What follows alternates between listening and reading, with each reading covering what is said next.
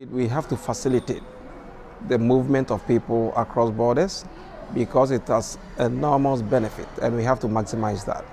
One of the critical benefits again is trade. You look at the trading trade amongst other in other regions like Europe is over 65%. In Africa is only about 15%, which is very low simply because of the limitation of the mobility of people across borders. Also the issue of sustainable development.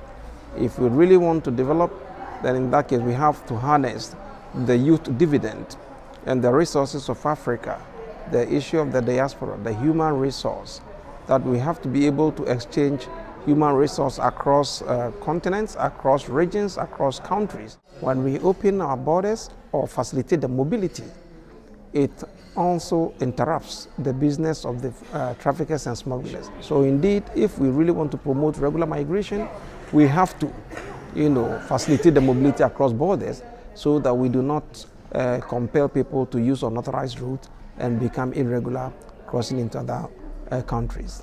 Thank you.